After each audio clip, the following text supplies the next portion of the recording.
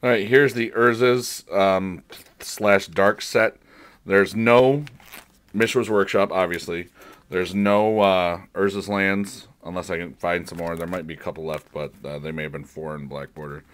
You know, there's 58 cards, mostly commons and uncommons. Some rares, like, uh, of course, Yawgmoth Demon. Of course, there really weren't rares. They were just uncommon one per sheets and blah, blah, blah. You know that if you're a collector.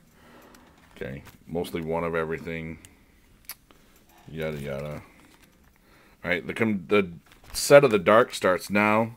It has everything but ball lightnings. I thought I left one a long time ago, um, but no. There are three mazes of Ith. Um, they've all been played a little bit. This is the back, you know, when we didn't use we didn't use sleeves and stuff back in the day. But uh, oops, as I destroy something, I'm not destroying it you know, on the best card ever, Sorrow's Path, that is horrible. We know that.